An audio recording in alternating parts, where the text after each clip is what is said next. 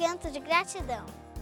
Cantarei um cântico de louvor ao nome do Senhor e o glorificarei com um hino de gratidão.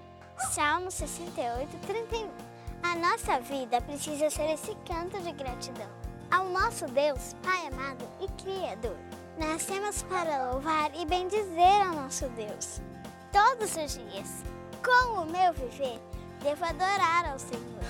Posso cantar lindos cânticos, mas viver a vontade de Deus é como cantar um canto de gratidão por tudo aquilo que Deus é em nossa vida.